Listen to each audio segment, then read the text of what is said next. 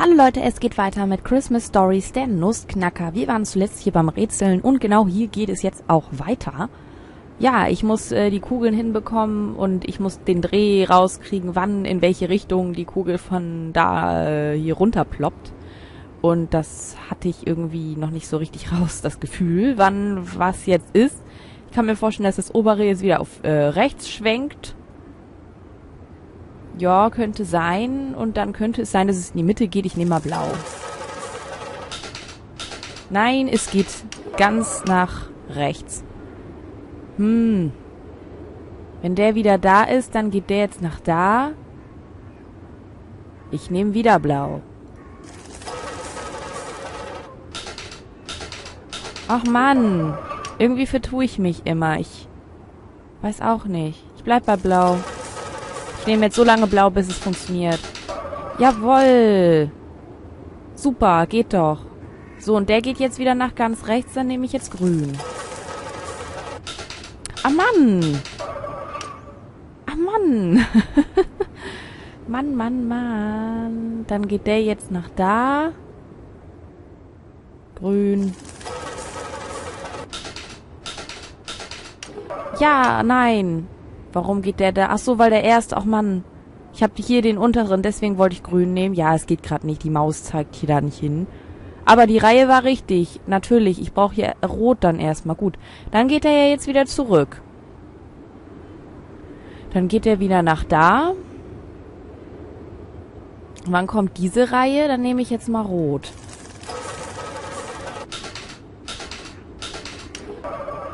Nee.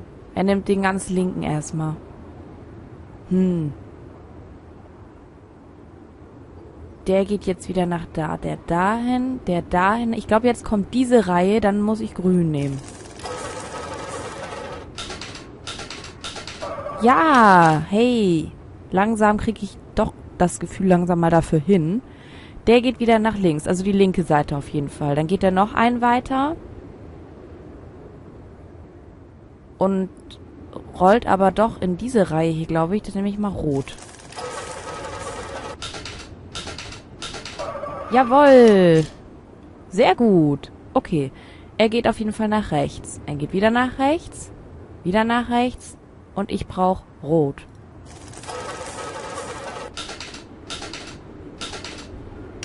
Okay.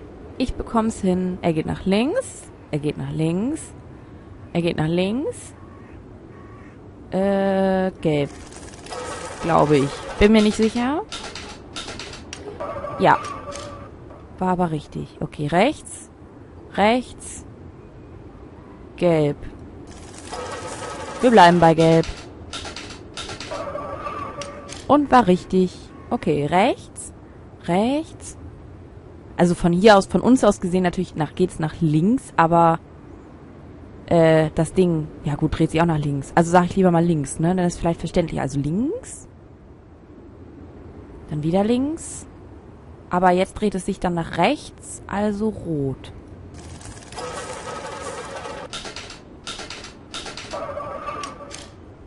Mhm. Rechts, rechts, rechts. Blau. Dauert ein bisschen lange, aber man muss ja alle stopfen, alle Löcher. Okay, links, links, links. Der letzte und das wäre dann grün.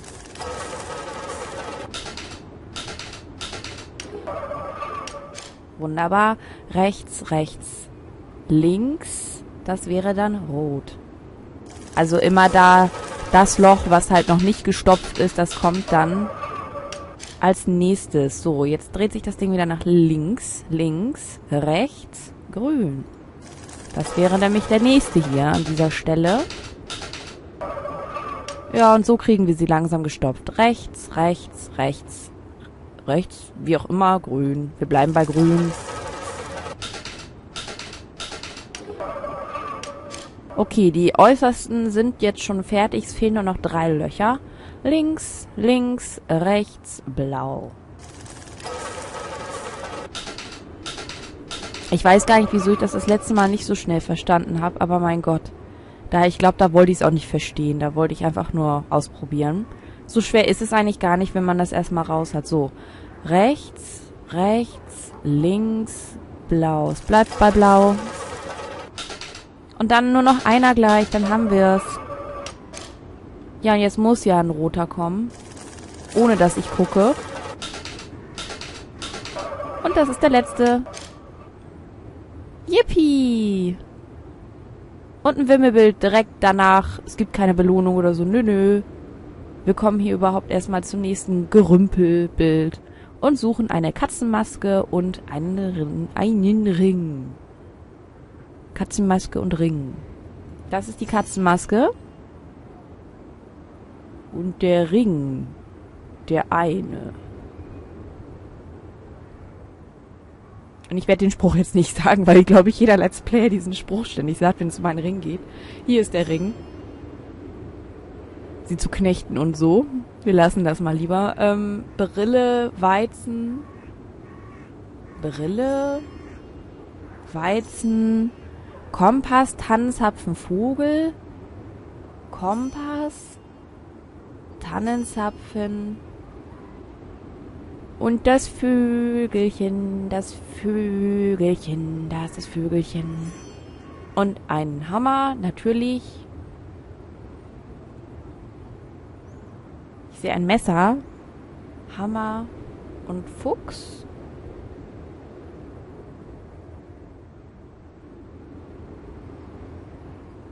Wo ist denn der Hammer? Und wo ist hier ein Fuchs? das ein Fuchs? Ach, das war ein Fuchs. Sah aus wie so eine kleine Maus oder so. Ist das ein Hammer? Ja. Wunderbar, gut. Fehlt, fehlen Orangenscheiben. Die soll ich bestimmt zerschneiden und da ich ein Messer habe schon, zerschneiden wir die Orangen, dann haben wir auch die Orangenscheiben. Dann soll es eine Papierschneeflocke geben. Das wird jetzt schon heikler. Wo ist denn hier... Ah, meine Mutter hat mir beigebracht, wie man aus Papier eine Schneeflocke bastelt. Hm, aber ich brauche eine Schere. Ach so, ich wollte gerade sagen, was brauchst du denn dafür? Ähm, da. Ach, wie schön. Und ein Nagel. Der wo ist? Also Nagel ist auch schon wieder so klein. Und jetzt soll ich den auch noch an einer Extrastelle suchen. Hier, mit den Fingern kann ich den Nagel nicht herausziehen. Ach, da sehe ich ihn jetzt auch. Dafür brauche ich ein Werkzeug. Wo ist denn das Werkzeug? Das hier? Da. Ja, zieh's jetzt. Machst es mal. Hm. Geht doch. Das könnte sich jetzt nützlich erweisen, dieser komische Fuchs. Das wird wahrscheinlich eines der letzten Tiere sein. Und da geht unsere fröhliche Musik auch wieder los. Ich muss aber noch mal zurückgehen. Ich gehe ganz zurück Zurück, zurück, zurück. Palasttor. Das ist ein bisschen weit, ne? Obwohl, hier haben wir noch eine Puppe übersehen. Alles klar. Okay, weil hier habe ich nämlich angefangen und hier hatte ich die Puppen ja noch gar nicht äh, alle gefunden, nehme ich mal an. Deswegen muss ich noch mal die Augen aufbehalten und habe, und ich weiß, da freut sich jemand jetzt ganz, ganz toll, weil ich ihn grüße. Der hat mich nämlich drum gebeten. Ich grüße einen Jungen und ich sage jetzt mal nicht seinen Namen, der weiß aber schon, wen ich meine. Und der ist noch sehr, sehr jung. Ich glaube, der gehört zu meinen jüngsten Zuschauern, die ich habe. Der müsste so neun oder zehn Jahre alt sein. Und der hat mir einen Tipp gegeben, wo ich noch Puppen suchen soll. Und äh, ich habe gedacht, okay, ich hätte jetzt alles schon gefunden, aber ich halte noch mal die Augen offen an den Orten, wo ich war, ob denn das stimmt. Also ich muss auf jeden Fall nochmal zu dieser Tür, die hier war und hier irgendwie rechts in der Ecke. Aber ich glaube, die hatte ich dann doch schon. Wir waren uns nämlich nicht ganz sicher. So. Gut, dann ich, ich halte die Augen weiter offen. Ich meine, wir müssen ja hier sowieso noch mal hin, weil die Tür ist ja auch noch zu. Oder komme ich hier, hier jetzt hin? Nee, ne? Mit dem Schlüssel komme ich da nicht durch. Dann gehe ich trotzdem hier noch mal rein. Ist hier noch eine Puppe und, oder hatte ich alle? Ich habe ja damals schon gesagt, dass mal das Problem ist, wenn ich dann weiß, was ich suche, dann fange ich mal irgendwann richtig an und weiß immer gar nicht, hatte ich jetzt schon alle eingesammelt an den Orten, wo ich war oder nicht. Hier waren die Tasten, hier müssen wir auch noch mal hin. Dann gehe ich jetzt erstmal nochmal hier zurück. Und, äh, guck mal hier, den Wichtel. Den kann ich aber nicht nehmen, auch wenn ich jetzt mehrmals da drauf drück. Das geht nicht. Ähm, ich glaube dann... Ich glaube auch, dass ich hier damals eine... Ich glaube, hier war eine Baum oder hing hier oben oder so. Ich glaube, die hatte ich schon. Dann gehen wir hier nochmal weg. Guck hier nochmal ganz genau. Habe ich hier alle Puppen? Da, da rein kann ich nicht nochmal. Da wird keine sein. Nee. Hier? Also, wenn nicht, ich muss eh nochmal zurück, falls ich jetzt was übersehen haben sollte. Aber ich glaube, ich habe jetzt doch schon alle eingesammelt. Vor allem ganz am Anfang die. Die habe ich gar nicht äh, gesehen gehabt. Dafür lieben Dank nochmal. Und dann äh, kriege ich vielleicht doch später alle zusammen. Das wäre natürlich schön. Gehen wir mal hier rüber, gehen wir mal über lang. Wir haben ja jetzt zum Beispiel dieses Tierchen. Das ist aber nicht hier. Was war hier eigentlich noch? Ach ja, diese Spinnenweben. Komme ich auch nicht weiter. Wenn ich das Loch etwas weite... Wie soll ich das hinbekommen? Und hier fangen auch schon wieder diese seltsamen Stimmen an. Hm, nee. Irgendwie nicht so hier. Ich hoffe, dass ich hier die Puppe eingesammelt habe. Ich glaube aber schon. Ja, komm. Geh mal, geh mal weg hier. Hier haben wir doch auch alles schon gemacht gehabt. Komisch, dass man hier noch ran kann. Vielleicht finde ich doch noch irgendwie was zum Schmelzen. Ich habe keine Ahnung. Auch hier. Es gibt noch so viel zu tun. Merke ich gerade. Ja. So ist das. Habe ich mittlerweile einen Kocken? Nein, ich habe nur dieses Tier und das werde ich jetzt mal einsetzen. Vielleicht ist das der letzte. Habe ich jetzt alle? Ach, ich habe jetzt sogar alle. Moment mal. Nee, nee, erneut. Ich muss jetzt erstmal gucken, wie das geht. Ordne die Tiere der Größe nach an. Beginne mit dem kleinsten, beachte, dass die Tiere verschlungene Wege nehmen müssen und wähle sie in der richtigen Reihenfolge aus. Ordne die Tiere der Größe nach an. Beginne mit dem kleinsten, beachte, dass die Tiere verschlungene Wege nehmen müssen, wenn sie... Na, ja, ja, ja, das ist schon... Ich soll mit dem kleinsten anfangen. Wer ist denn der kleinste? Bestimmt der Käfer, ne? Also jetzt nicht nach der Größe wahrscheinlich der Figuren hier, sondern nach der Wirklichkeit, oder? Dann kommt die Maus. Ich kann sie doch eigentlich aber trotzdem nacheinander einsetzen. Wobei, warte mal, wenn der Käfer da, dann ist der Käfer da, dann ist der Käfer da. Dann muss ich ja andersrum gehen, oder? Dann muss ich mit dem Größten anfangen. Beginne mit dem Kleinsten. Ja, aber wenn ich mit dem Kleinsten beginne und der am Ende hier vorne ist, dann ist hier am Ende ja nicht der Größte. Na gut, ich mach's jetzt mal erstmal so, weil hier stand, beginne mit dem Kleinsten, dann ähm, mache ich das auch einfach mal. Dann kommt der Igel, glaube ich. Dann kommt der Hase. Dann kommt der kleine Fuchs. Ist ein Fuchs kleiner als so ein Schwein? Ich glaube schon. Ich habe keine Ahnung, ob die Reihenfolge richtig ist. Der Wolf und dann der Bär. Und? Nein, das war falsch. Aber woher weiß ich jetzt, warum es falsch war? Weil ich die... Ach, ich versuch's wieder mal. Käfer. Maus. Igel. Hase. Ähm... Bei denen weiß ich jetzt halt nicht. Mache ich mal erstmal das Schwein. Dann der Fuchs. Dann der Wolf. Und dann der Bär. Auch falsch. Keine Ahnung. Ich weiß auch gerade nicht, wenn die hier in einer Reihe sind. Gut, dann mache ich das jetzt mal nach meiner Logik. Ich fange mit dem Größten an. Bär.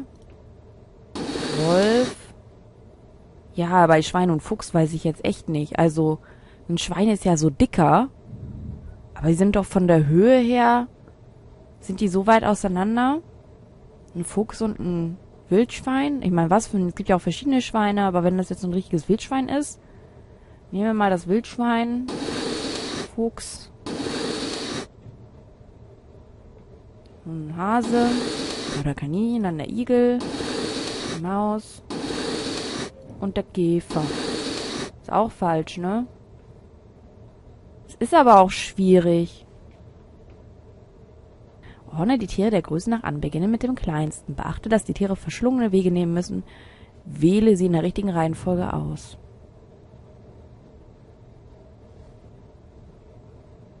Hm. Beginne mit dem kleinsten.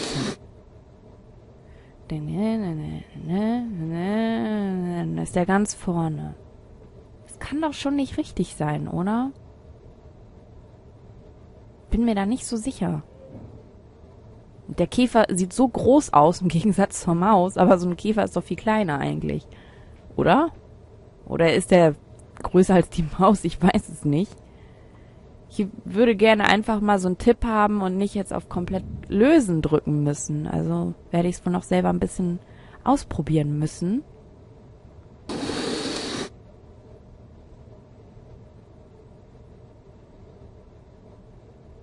Ach so, die sind ja dann aber zwar in einer Reihe, guckt man sich die an, aber der zweite ist ja der hier, oder? Und da, deswegen muss man, glaube ich, drauf achten auch.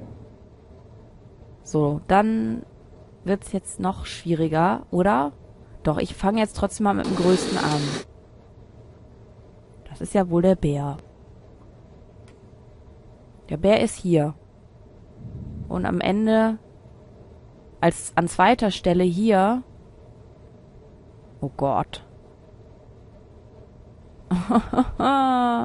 ist das schwierig. Ähm.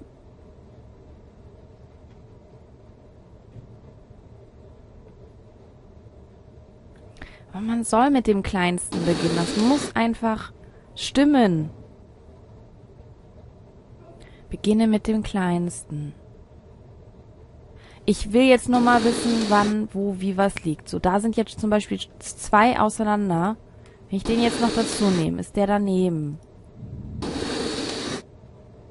Ich mach mal einfach weiter hier.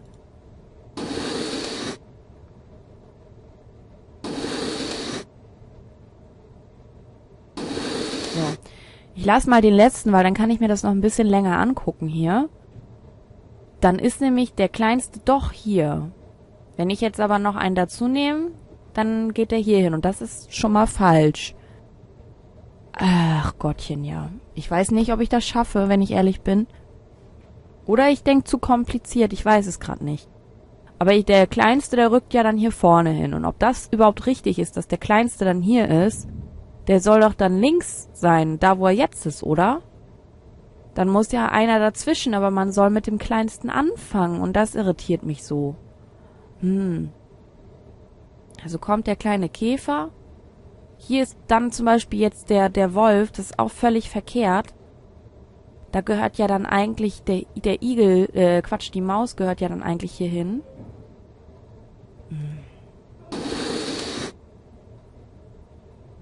Das ist, ich kann das gar nicht, ich kann mir das nicht merken.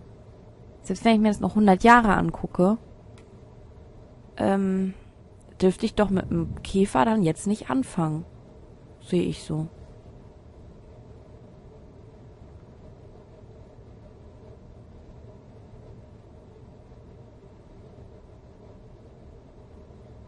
Muss ich doch mit dem anfangen. Dann mit dem.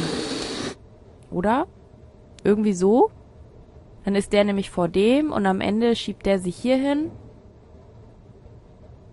und der Käfer ist da und dann ist der kleinste ganz vorne. Das wäre ja schon mal richtig. Wenn ich das jetzt so weitermache, die Logik, kriege ich das dann hin? Dann kommt jetzt nämlich ähm, der nächst zweitkleinste, das wäre die Maus. Und jetzt der zweitgrößte, das wäre der Wolf, glaube ich. Weiß ich aber nicht. Dann kommt wieder der nächstkleinste, das wäre der Igel. Und dann kommt der, ja, weiß ich nicht. Das Schwein? Nehmen wir mal, weiß ich nicht. Schwein, Fuchs, was ist größer? Fuchs. Dann kommt der Hase. Und dann das Schwein. Keine Ahnung. Oh, guckt mal, das ist sogar fast richtig jetzt. Das war gar nicht schlecht. Wahrscheinlich habe ich nur, äh, wie von wegen, weil ich immer nicht weiß, welcher eigentlich größer ist. Das mache ich jetzt nochmal.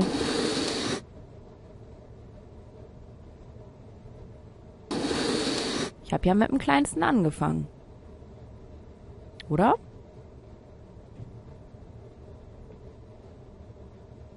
Nee, warte.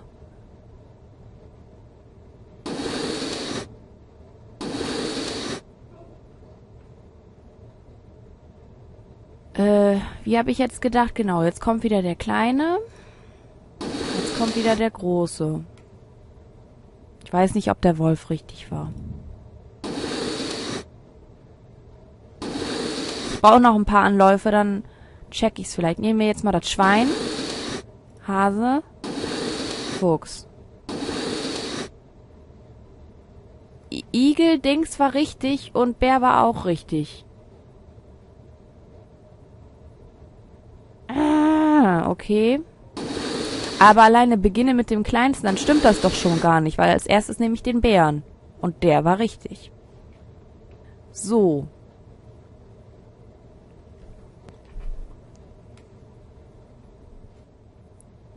Moment, jetzt muss ich gucken. Bär,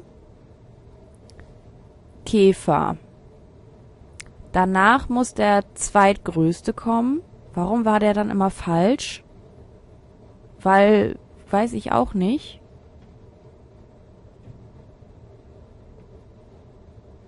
Der, Wal der Wolf ist doch am größten, das muss der doch sein. Wolf?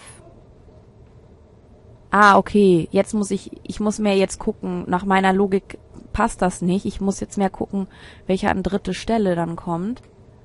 Dann kommt danach, ja, jetzt muss ich wieder entscheiden, welcher größer ist. Ich nehme mal, ich nehme das Schwein. Dann kommt jetzt, dann kommt, mh, hm, schwierig. Geht es jetzt hier nach, nach der Reihe oder nach dem Platz. Am Platz soll dann hier der viertgrößte sein. Das wäre dann der Fuchs. Aber geschoben, geschoben ist es hier dann. Äh, und da soll dann der Hase hin.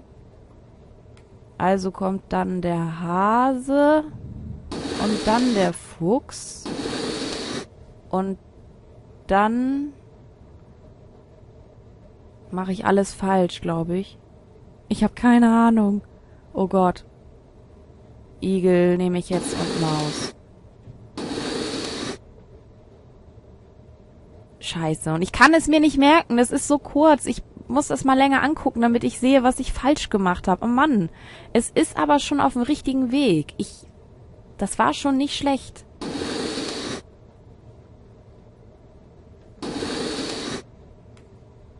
So. Käfer. Dann kommt der zweitgrößte. Wolf. Das hatte ich, glaube ich, auch richtig. Dann kommt der nächstgrößte. Weiß ich bei den beiden immer nicht. Da war irgendwas falsch, glaube ich.